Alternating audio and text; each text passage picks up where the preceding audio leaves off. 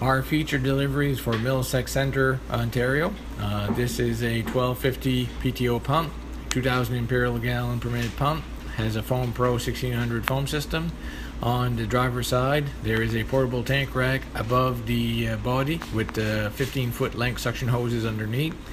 The compartments have variable storage for pull-out tool boards, a swing-out tool board, adjustable shelving, and 600 pound tray uh, pull-out trays. On the rear of the unit, there's rigid hose bed covers, storage for a 35 foot three section and 16 foot roof ladder inside the tank, and a rotating stainless steel dump valve. The passenger side has a Zico horizontal ladder access system for 24 foot two section, a 16 foot roof ladder, and high side compartments. The unit has a extended front bumper with a trash line and a Q2B siren.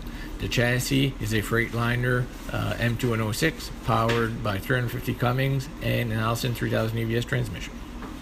For more information, please feel free to contact us at 1 800 561 0012.